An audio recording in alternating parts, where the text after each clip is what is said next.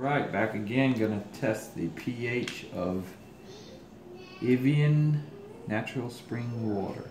First off, let's see what they're claiming.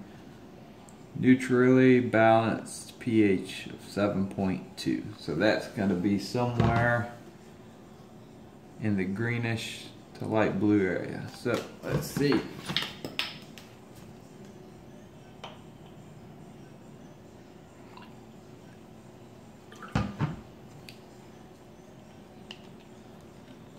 Four drops.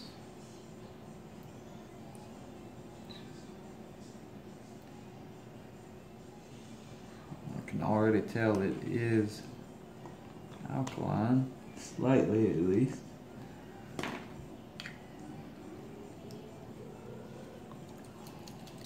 And darker than I thought it was going to be.